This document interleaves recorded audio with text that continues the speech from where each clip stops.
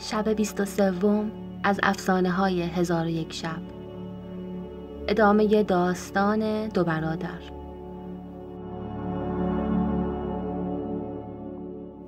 اما ای سلطان جزایر هند و چین و ای فرمان روای با خرد دور نگر و آینده بین. در آغاز بیست و سومین شب افتخارآمیز قصهگویی خود در محضر آن سرور شایسته و حکمران مقتدر و بایسته و در دومین شب تعریف داستان شمس الدین و نورالدین و دنباله مطالب معروضه شب قبل اضافه کرده و ادامه می دهم که مرد کاروان سرادار بعد از شنیدن عملیه وزیر اعظم شتابان خود را نزد نورالدین رسانید و در مقابل او زمین ادب بوسید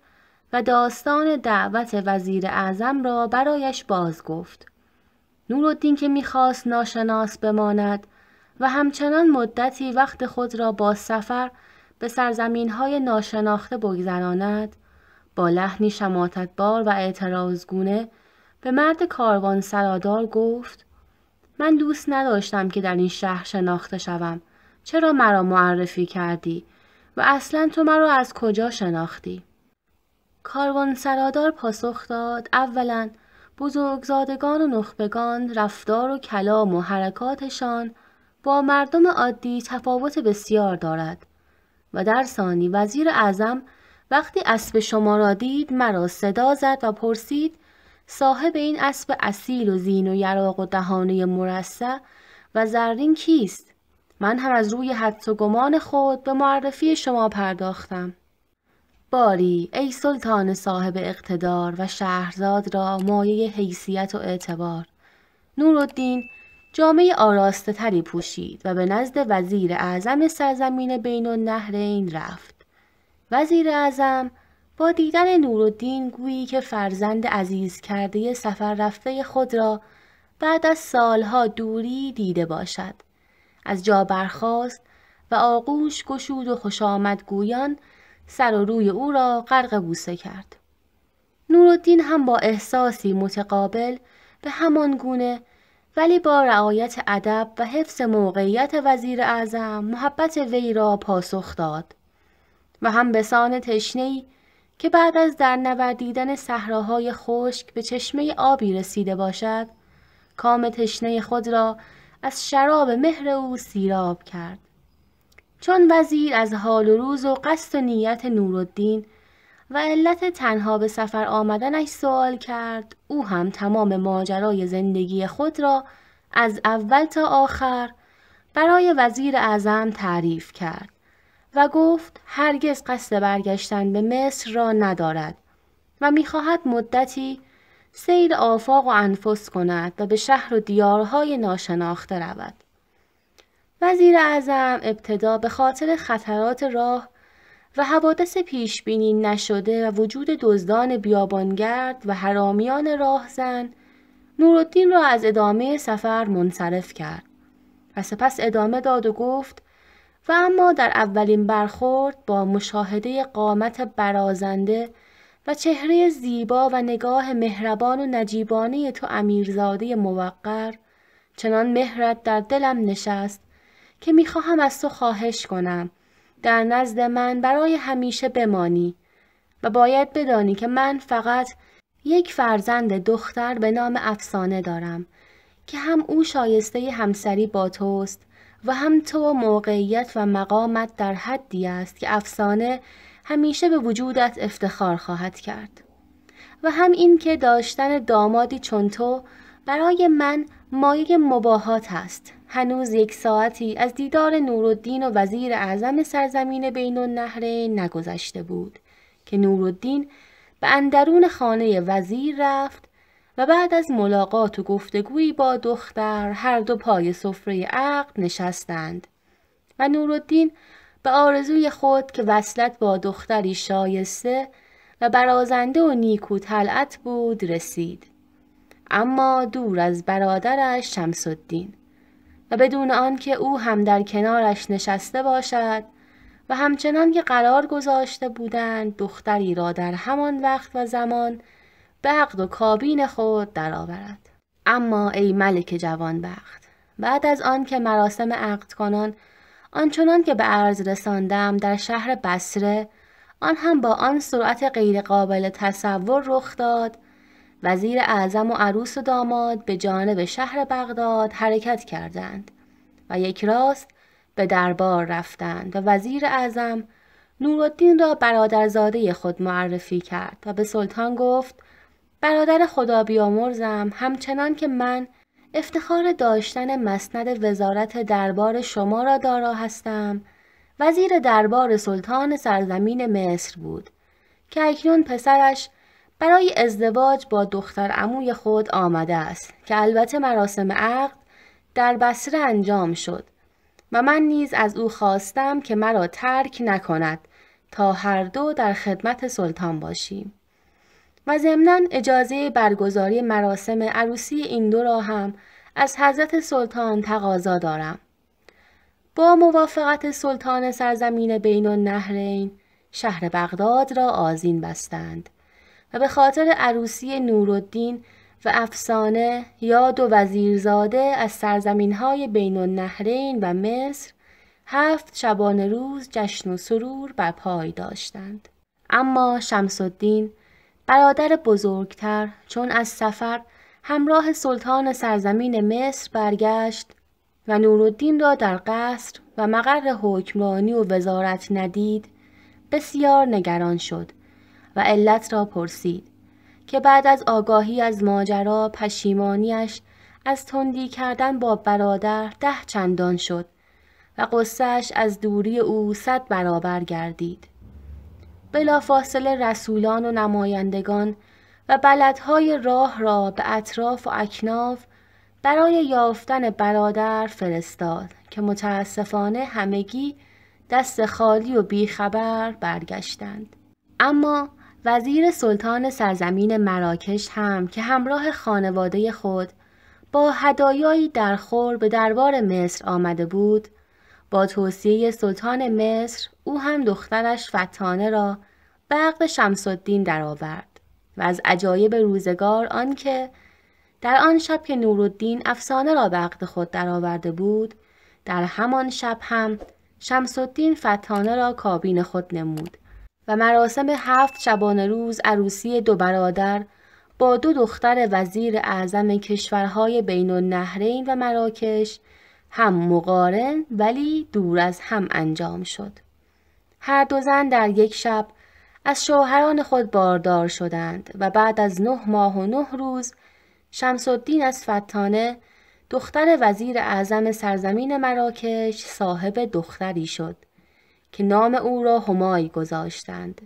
و نورالدین هم از دختر وزیر اعظم سرزمین بین النهرین صاحب پسری شد که نام وی را همایون گذاشتند. چون مراسم جشن و سرور یک هفته عروسی نورالدین و افسانه به پایان رسید، در اولین بامداد هفته دوم وزیر اعظم به بارگاه سلطان رفت و زمین ادب بوسید و به عرض رسانید همانطور که قبلا هم به استهزار حضرت سلطان رسانیدم نورالدین دامادم پسر برادرم هم می باشد و پدرش نیز در زمان حیات خود سالها بر مسند وزارت اعظمی سرزمین مصر تکیه داشت و بعد از مرگ پدر نورالدین و برادرش شمس الدین هر دو با هم در مقام وزارت به سلطان سرزمین مصر خدمت می کردند. تا اینکه نورالدین بنا به درخواست من به بغداد آمد و اما از آنجا که من به خاطر کهولت سن و ضعف بینایی دیگر مثل سابق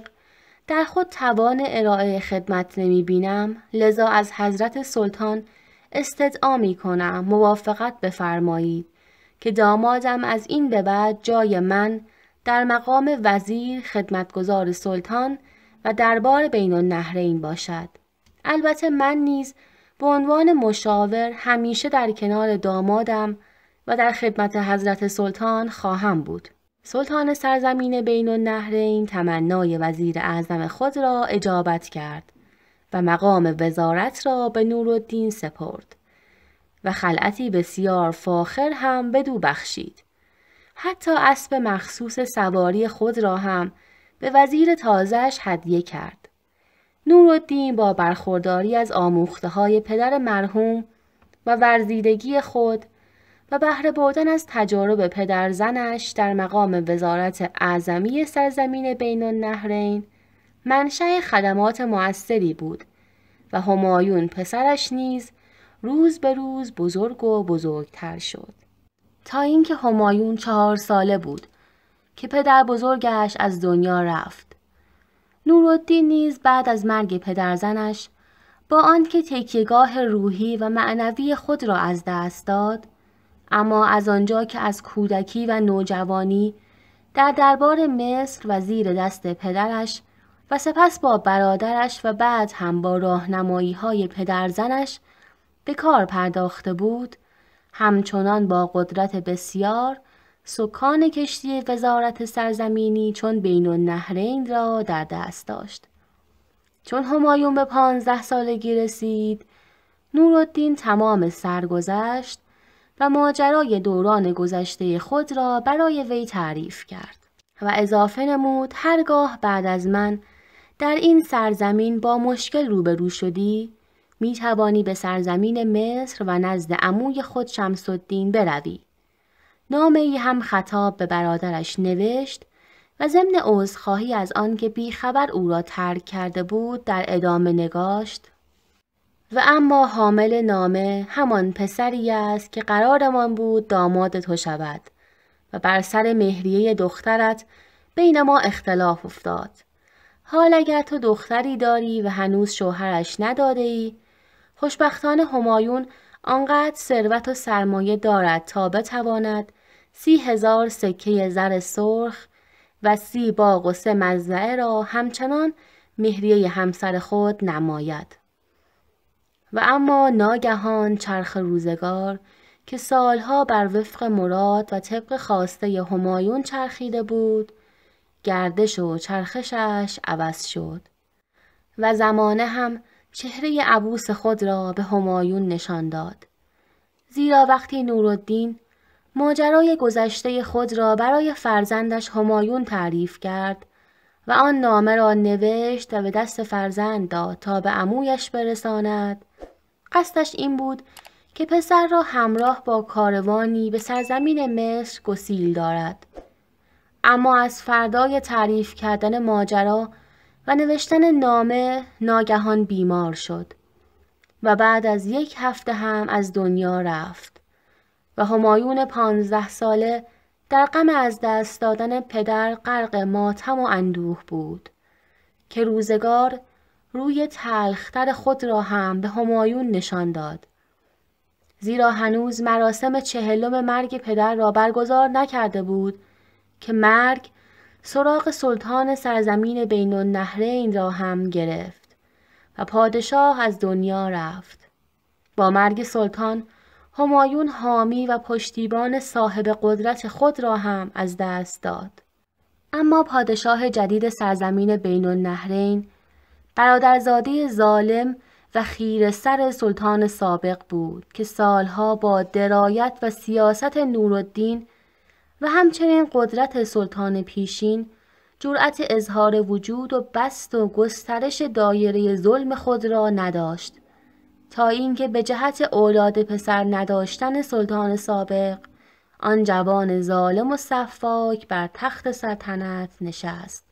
و اولین اقدامی که کرد آن بود که تمام اموال و ثروت و دارایی همایون را مصادره و او را از خانه و خانمانش بیرون کرد. و از آنجا که گفتند چون بد آید هرچه آید بد شود یک بلا ده گردد و ده صد شود. افسانه مادر همایون نیست که غم مرگ پدر یک طرف. زایعه فوت همسر طرف دیگر و مصادره به ناحق اموال و املاک و دارایی ها از جهت سوم مزید بر علت شده بود از قصه دق کرد و او هم مرد. و مرگ مادر ضربه سوم و پی در پی بود که بر قامت همایون پانزده ساله فرود آمد. همایون همچنان زانوی غم در بغل گرفته نشسته بود و اشک میریخت که نیمه شبی سراسیمه یکی از خدمتگزاران سابق پدرش دقلباب کرد و وارد سرای خالی از اساس او شد و گفت باید هم الان و بدون لحظه درنگ خانه را ترک کنی و تا سحر نشده از شهر خارج شوی و به هر طرف که صلاح خود میدانی فرار کنی.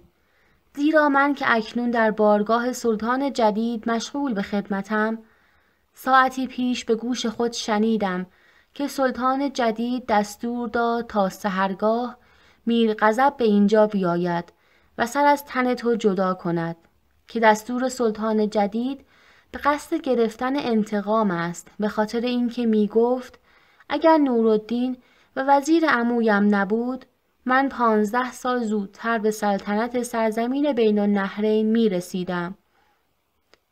به این جهت و برای تلافی فرمان قتل تو را صادر کرده است. حال ای پسر از جایت بجون و هم الان ترک شهر بغداد کن که اگر سهرگاه برسد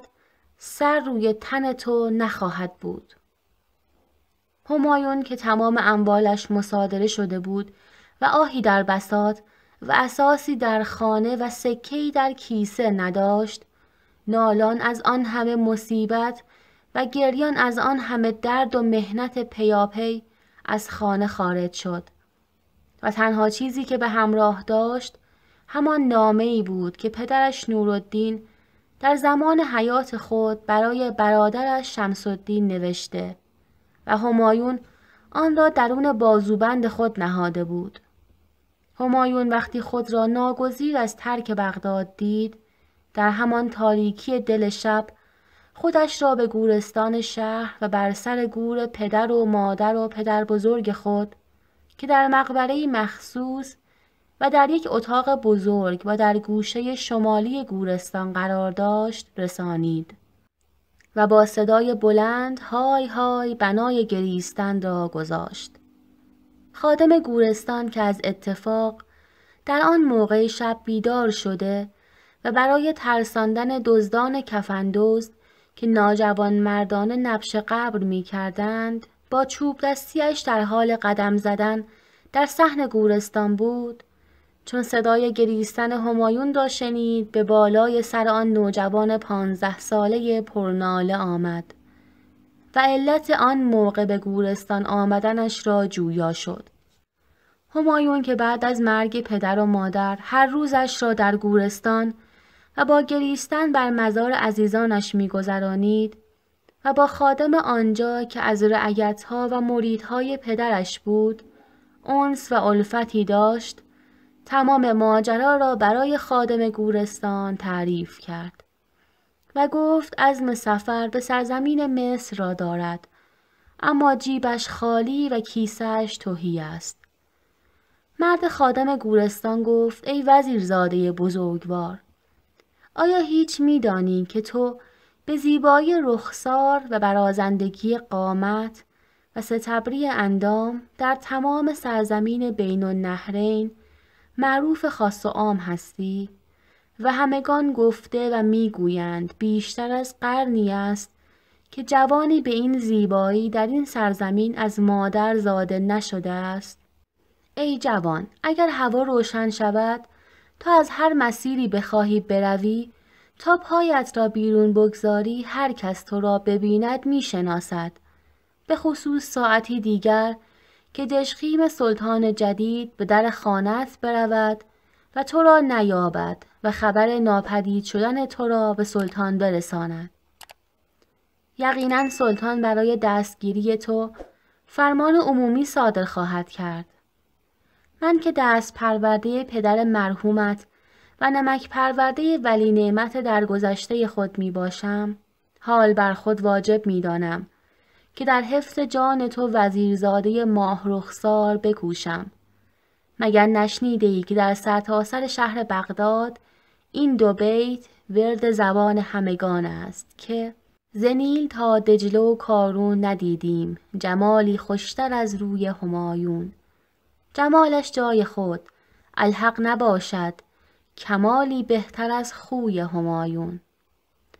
و چون قصه به دینجا رسید سلطان را خواب در رو بود. و شهرزاد هم ایمن از ضربه تیغ جلاد برگردنش دمی بیاسود و دنباله داستان هم باقی ماند تا شبی دیگر. پایان شب بیست و سوم.